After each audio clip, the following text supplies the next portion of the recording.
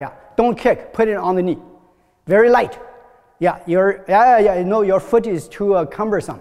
Your foot should be very agile, like a cat. So when we are here, you do this, the elbow. You do this jerk.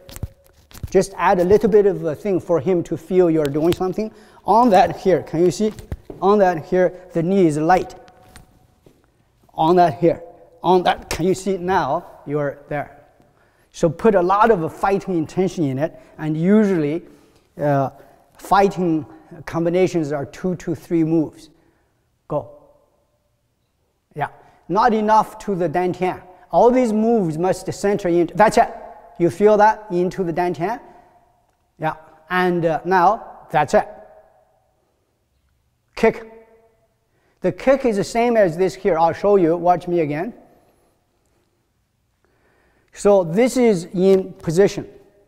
On the position here, you only you don't need a large move. In fighting, you won't have this opportunity.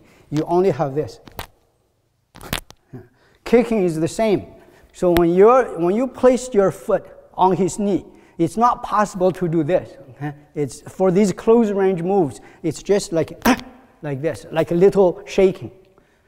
And that's all it, it, takes for your foot to be on the knee. That little bit of a shaking vibration will totally destroy the knee. You don't need a large punch or like a kick, like a external hard roundhouse or whatever kind of a kick. There's no real expression. It's just a jam. But this is a method to train for you to gradually know how to kick. So your knee is, your foot is on your opponent's knee. You do this that stretch here, this is your foot and your hip. Don't do this. Don't do this one. It's like there's so much power you, you are here. Can you see if it's so strong, when you stretch it, it bounces back. It's, it's, it's, it's here. And to do this, this becomes external if the move is too large.